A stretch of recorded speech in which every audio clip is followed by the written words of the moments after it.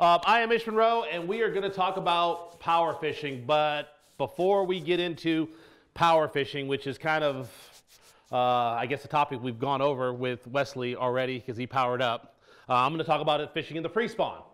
Uh, a couple of things I want to get into uh, before we even get into this is some of the basics that I think you guys need to know. Uh, important things such as knots. Uh, one knot you need to learn to tie. Single Palomar knot. How many guys know how to tie a Palomar knot? Good. How many guys know how to tie a double Palomar knot? A couple. So very, very simple. The double Palomar knot is a knot that I use for when I'm tying braid to a lure. And a single Palomar knot will slip on you. So learning to tie a double Palomar knot is basically, we all know how to get the loop on this end and the tag end on this end, is taking that loop and going back through the eye for a second time. And what that's going to do is help clinch that knot down super duper tight. So simple, easy. We all got that? Perfect. Another knot you need to tie, learn to tie is a snell knot for when you're flipping and pitching.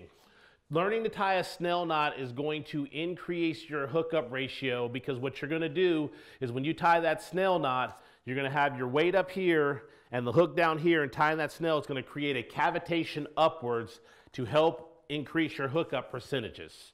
So just, I like to get into knots because those are the three knots that I tie all the time for everything and it pretty much covers all the bases. So single Palomar when I'm tying mono and fluoro, double Palomar when I'm tying braid. Anytime that I'm flipping and pitching or throwing a Texas rig, I learn to tie a snell knot. So let's get into power fishing to the pre-spawn. Most important part of power fishing the pre-spawn is location because you can be where the bass are not. The bass have to be there. Figuring out where they're going to be is hugely important. In the pre-spawn, the pre-spawn is basically the transition from going from their winter patterns to their spawning patterns. It's the in-between location. The great part that I love about the pre-spawn is that most of the time the fish are coming to you. And so figuring out exactly where that is at.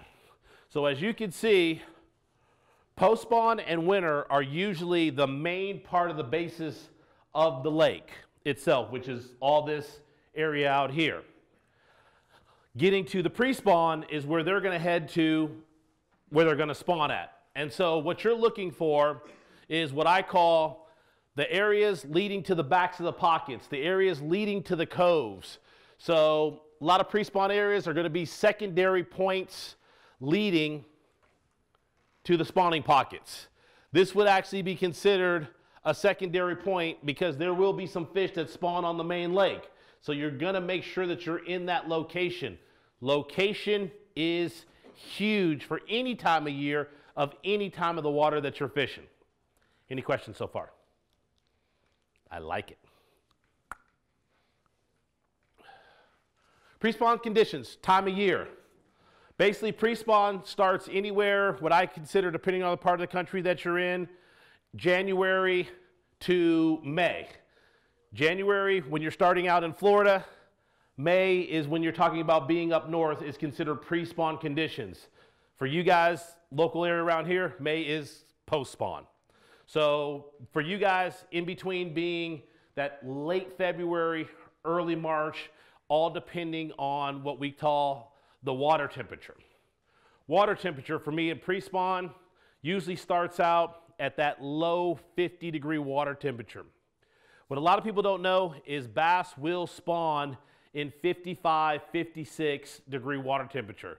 Those are usually the bigger females. The reason is for them, that water temperature starts to warm up, they're moving up. Big fish like to spawn when there's not a lot of people on the water. You guys know this. In the springtime, it's Mike Iaconelli. This is Bass U TV. Here's what's awesome about Bass U TV. You get the top instructors. Real tools that help you catch more fish consistently. And that's why you want to check out Bass U TV. Join the Bass U family. Welcome to Bass U TV.